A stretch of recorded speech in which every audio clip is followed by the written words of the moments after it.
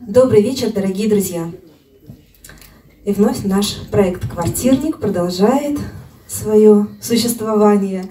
И надеюсь, что еще долгие годы будет с нами. Сегодня у нас э, тот стиль музыки, которого у нас еще пока не было. У нас был рок, джаз, фолк, этно, фьюжн, поп, авторская песня. Э, что у нас там еще было? Да много чего было, да? Романсы были, да. Но сегодня у нас будет блюз. Любите блюз? Да. Да. Хорошо, мы сегодня это проверим.